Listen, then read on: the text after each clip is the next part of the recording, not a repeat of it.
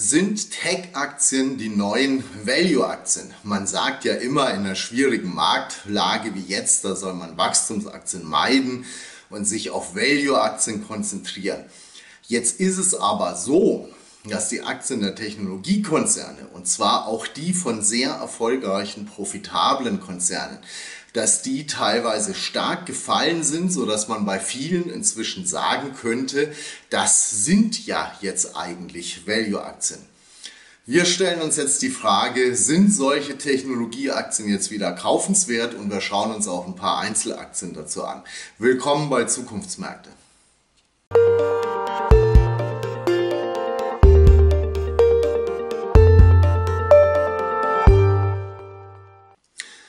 Herzlich willkommen, da bin ich wieder vor der ewig gleichen Kulisse. Hinter mir hier der äh, Bulle. Es haben einige schon geschrieben hier, das Bild hängt schief. Das Problem ist, dass leider der Raum schief ist. Das ist ein Altbau, man kann da wenig machen. Aber viel hängt natürlich schon länger schief und läuft schief. Der Bulle ist irgendwie ein Bild aus vergangenen Zeiten und hier sollte schon längst ein Bär hängen. Wir sind eindeutig in einem Bärenmarkt. Und hier haben wir ihn auch schon, den schrecklichen Gesellen, wie er wieder mal genüsslich einen Anleger verspeist. Man kann es aber natürlich auch ganz anders sehen. Man kann den Bären sehen als Freund des Anlegers. Hier haben wir ein besonders nettes und freundliches Exemplar. Die älteren Zuschauer, die kennen ihn bestimmt noch. Das ist der gute alte Bärenmarke Bär. Und Sie entschuldigen da meine grafischen Fähigkeiten, die ein bisschen beschränkt sind. Aber Nichts geht über Bärenmärkte, weil Bärenmärkte produzieren ja so gut wie zwangsläufig Unterbewertungen und Kaufgelegenheiten. Und es gibt auch immer mehr ja auch die Meinung, dass die Korrektur jetzt schon eine Kaufchance ist, vor allem im Technologiesektor. Und der Nasdaq-Index ist ja auch letzte Woche zum Beispiel wieder um fast 5% gestiegen. Dass es schwierig wird dieses Jahr, das hat sich abgezeichnet. Das war auch schon meine Botschaft in meinem Ausblick auf das Jahr 2022. Die hohe Inflation erzwingt steigende Zinsen und die belasten die Börsen, vor allem eben auch die Wachstumsaktien. Das ist eigentlich auch ganz simpel. Inzwischen ist es aber schon wieder komplizierter und wir haben immer noch die hohe Inflation. Man hat aber den Eindruck, dass es an den Märkten inzwischen gar nicht mehr die Hauptsorge, sondern das ist jetzt eher eine mögliche Rezession oder aber zumindest ein starker Wachstumsrückgang. Und das ist aber was, das in der Theorie zumindest die Inflation ja wieder einbremsen könnte, wenn das Wachstum eben zurückgeht. Und die Rohstoffpreise zum Beispiel, die fallen ja dadurch jetzt schon wieder. Öl im Monatsvergleich zum Beispiel minus 13 Prozent, Kupfer minus 19 Prozent, Eisenerz minus 22, Nickel minus 25 Prozent und so weiter, wegen Rezessionssorgen ja auch. Was dann aber auch heißen könnte, dass der Inflationsdruck jetzt vielleicht nachlässt. Hier sind die Zinsen auf 10-jährige US-Staatsanleihen, der Einjahreschart. Die sind natürlich stark nach oben gegangen, was die Wachstumsaktien ja auch besonders stark belastet hat. Und wir waren da Mitte Juni noch bei 3,5 Prozent. Jetzt gehen sie aber wieder zurück und sind jetzt ungefähr bei ungefähr ja, 3 Prozent.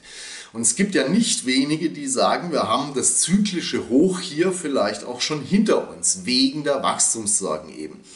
Was natürlich auch nicht schön ist, was aber heißen könnte, dass die Fed früher oder später die Inflation vielleicht doch nicht mehr so stark bekämpfen will und sich wieder stärker konzentriert auf Stimulation was dann wiederum gut wäre für zinssensitive Aktien, also Wachstumsaktien.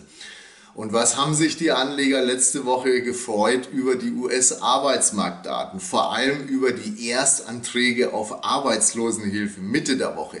Die waren so hoch wie seit Januar nicht mehr. Endlich werden wieder mehr Leute in USA auf die Straße gesetzt. Balsam für die Seele, weil auch das den Inflationsdruck senken könnte. In der Hinsicht vielleicht also auch bald wieder Rückenwind für Wachstumsaktien. Und gleichzeitig sind ja auch die Bewertungen zurückgekommen. Hier haben wir den Nasdaq 100 Index, auch da ein Jahreschart. Da sehen wir also nochmal das ganze Elend. Und technisch gesehen muss man sagen, er ist definitiv noch in einem Abwärtstrend. Was aber ganz interessant ist, das letzte Tief, das fällt zusammen mit dem letzten Hoch bei den Zinsen, die wir vorher gesehen haben. Beides exakt Mitte Juni. Seitdem sind die Zinsen wieder runtergegangen und die Technologieaktien synchron rauf.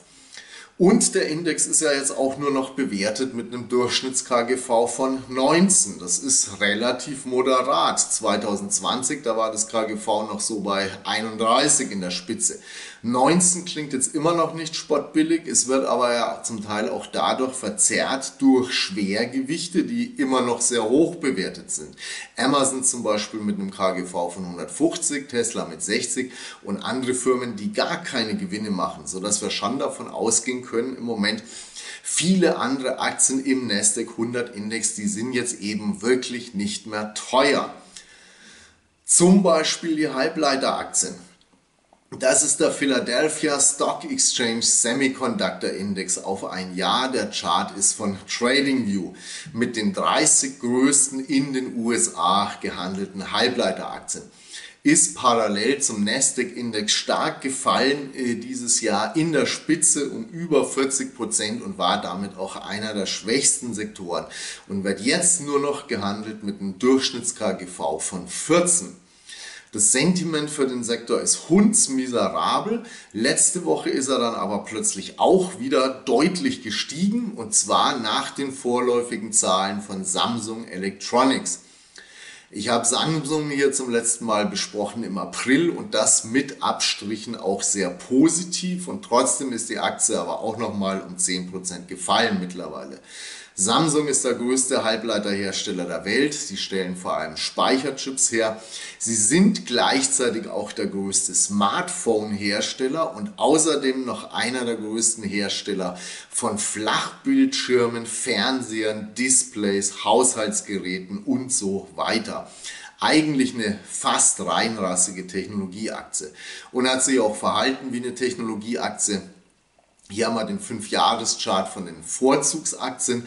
Starker Anstieg in der Corona-Pandemie, aber dann schon seit 2021 eine Erosion, die sich dieses Jahr eben auch nochmal stark verstärkt hat. Und damit ist die Aktie jetzt bewertet mit einem KGV für dieses Jahr von 9 und für nächstes Jahr sogar von unter 8. Einer der größten Technologiekonzerne auf der Welt. Und die Zahlen waren nicht schlecht.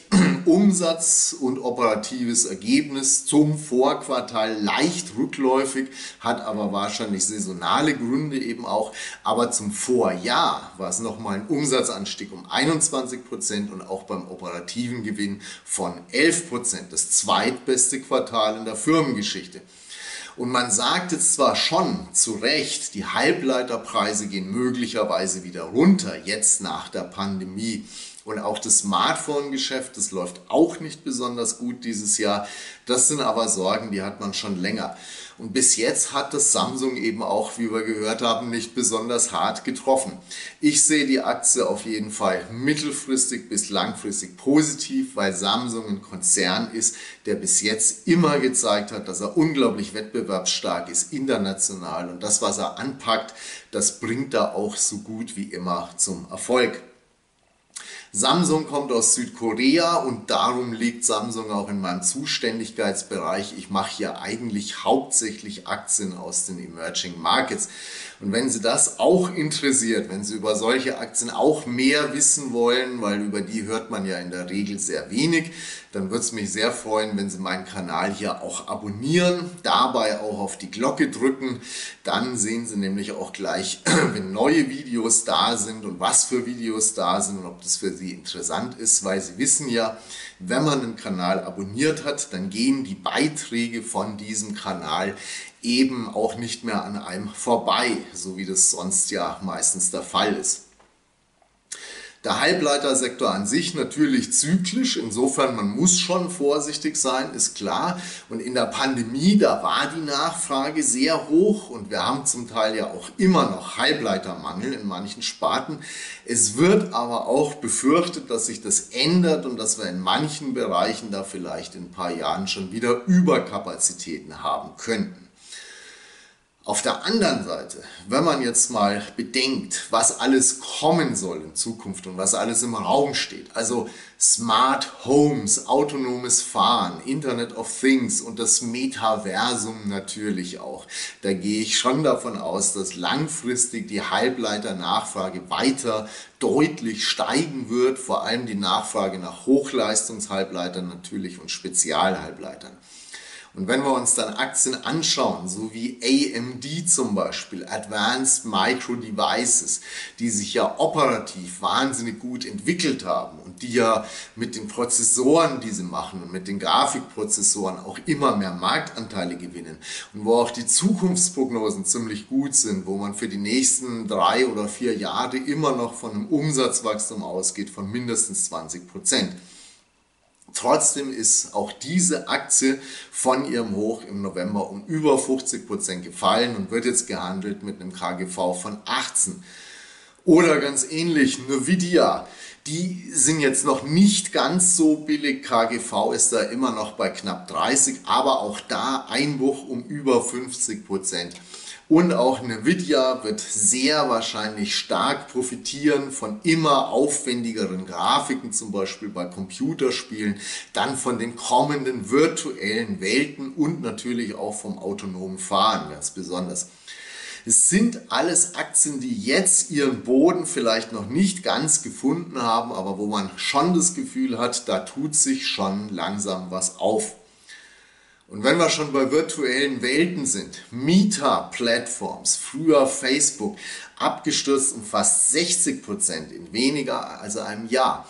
Der Inhaber der größten Apps und Plattformen, die wir so haben in der westlichen Welt, Facebook, WhatsApp, Instagram, wird jetzt gehandelt mit einem KGV von 14.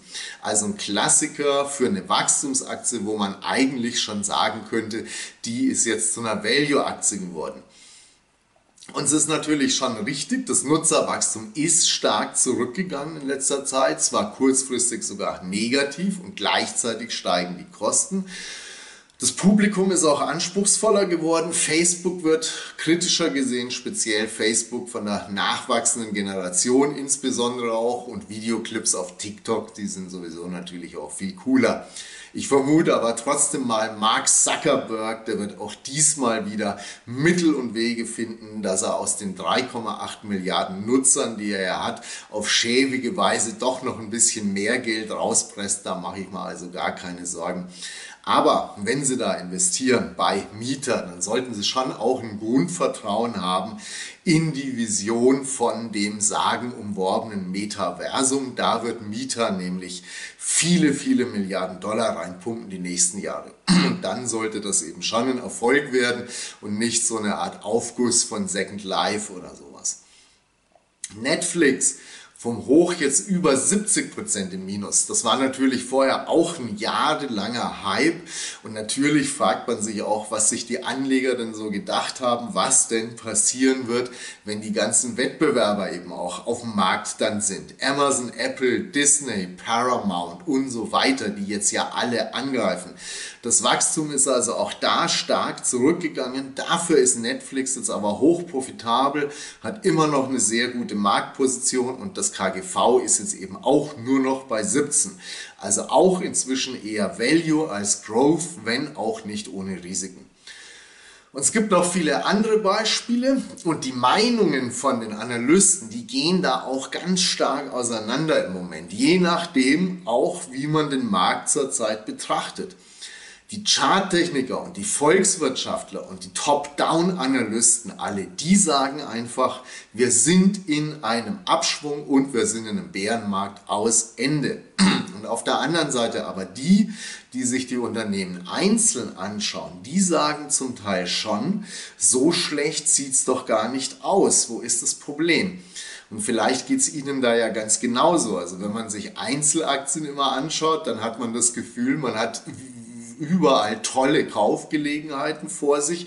Und wenn man sich aber den Gesamtmarkt anschaut, dann denkt man sich, schlimmer könnte es ja gar nicht kommen. Und das ist auch das Schwierige in so Marktphasen wie jetzt. Die Gewinnschätzungen für die Aktien im S&P 500 Index zum Beispiel, die sind ja in den letzten Monaten sogar noch angehoben worden für die Einzelaktien. Am Anfang vom Jahr, da war die Durchschnittsprognose fürs durchschnittliche Gewinnwachstum bei 8,7 Prozent. Jetzt sind wir sogar wieder leicht über 10 Prozent. Es kann aber trotzdem sein, dass die Top-Down-Leute trotzdem recht haben und dass es vielleicht so schlecht läuft wirtschaftlich, dass die Bottom-up-Leute ihre Prognosen eben doch nochmal runtersetzen müssen, vielleicht sogar stark darum, was macht der Anleger in so einer Marktphase, wenn er pragmatisch ist und wenn er langfristig denkt. Man bleibt wahrscheinlich schon eher defensiv. Es ist natürlich kein Fehler, wenn man den Markt nach wie vor immer im Auge hat auch und wenn man vielleicht auch versucht, dass man das eine oder andere Schnäppchen jetzt schon macht, aber eben noch relativ zurückhaltend halbwegs. Und von zwei Sachen muss man sich, glaube ich, wirklich verabschieden jetzt. Erstens von der Idee, dass jeder Mist, äh, der stark gefallen ist, dass der jetzt irgendwann mal wieder auf seine alten Höchststände kommt. Hier haben wir eine Grafik von Bloomberg der Börsenwert von Zoom, also der Dienst, mit dem man die Videokonferenzen machen kann. Der Chart hier in weiß im Vergleich zu Exxon in blau. Exxon, der größte Ölkonzern der USA, mit einem 17 mal so hohen Jahresgewinn.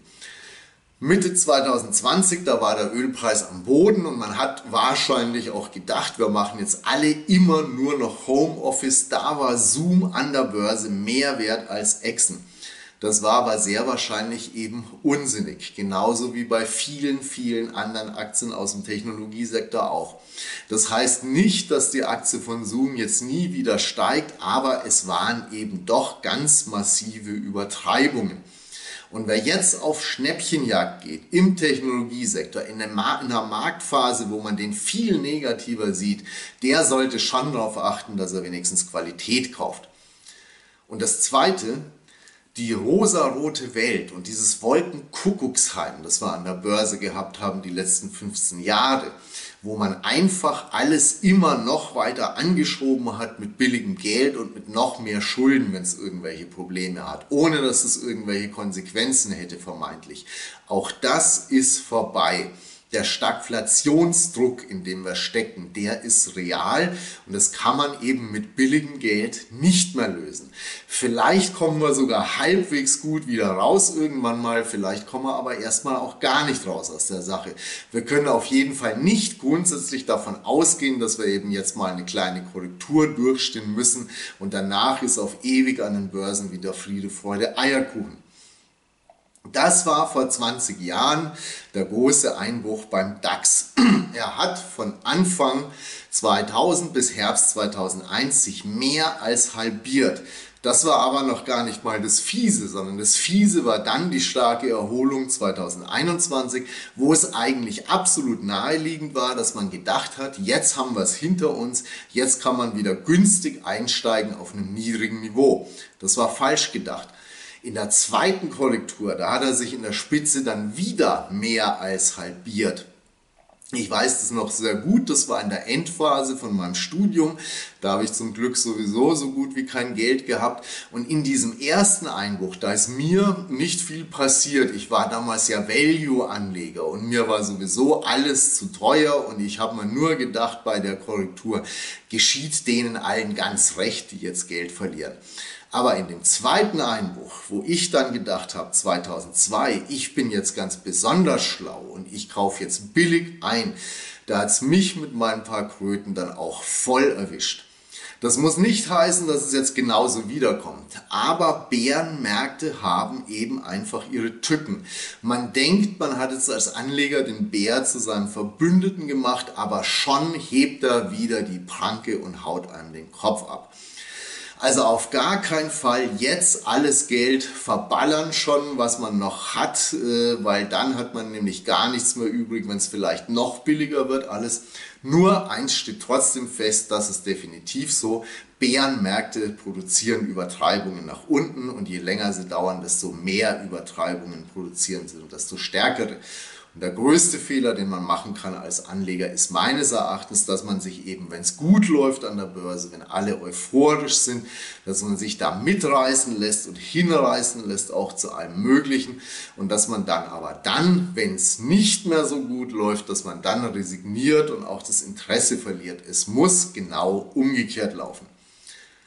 Ich darf Sie kurz noch hinweisen auf unseren nächsten Zukunftsmärkte-Report. Der ist zum Immobiliensektor in China, wo es ja auch eine Krise gegeben hat, schon seit letztem Herbst und wo die entsprechenden Aktien ja auch eingebrochen sind. Peking kämpft gegen diese Krise an. Und es ist ein Sektor, der ja nicht nur wichtig ist für alle China-Anleger, sondern ja auch zum Beispiel für die globale Rohstoffnachfrage und solche Dinge. Und wir haben da auch ein paar Einzelaktien. Die Reports von uns sind gratis. Sie müssen sich nur einmal eintragen dafür auf www.zukunfts-märkte.de. Also schnell noch machen, wenn Sie es noch nicht gemacht haben, weil dieser Report geht morgen raus. Und der Link dafür ist hier auch nochmal unter dem Beitrag. Und ansonsten, wie gesagt, ich freue mich auch immer über ein Kanalabo von Ihrer Seite. Mal verspeist man den Bären, mal wird man vom Bären verspeist und manchmal verliert man eben einfach und manchmal gewinnen dafür die anderen. Alles Gute Ihnen, Dankeschön fürs Zuschauen.